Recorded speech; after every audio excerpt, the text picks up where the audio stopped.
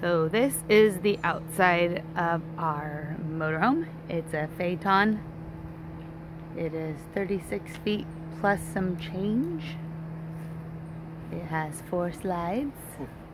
And we have a grilling penguin right now making some dinner.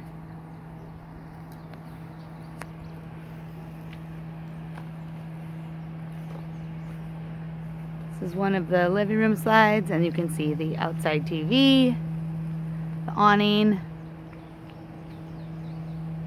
Tinkerbell's playpen, all the storage underneath the RV. And then this is the back slide. You can see it doesn't come out nearly as far as the living room slide.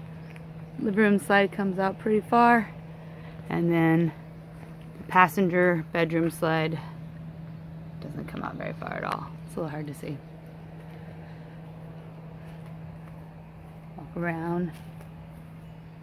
There you go. You can see a better comparison of how wide the slides come out. Then the back and the tow dolly and the little electric Fiat that we're towing currently until we have to return it in August.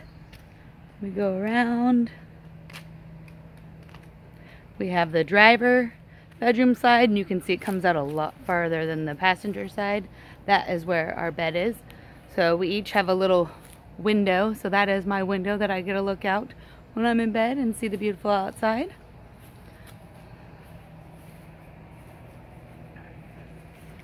There's Penguin's window, so you can see outside. And this is the driver front slide.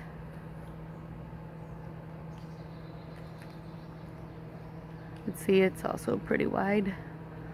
So here's what it looks like all the way from the side. And we have lots of storage underneath in those bays, including one that comes out on a, the middle one that comes out on a big pull tray.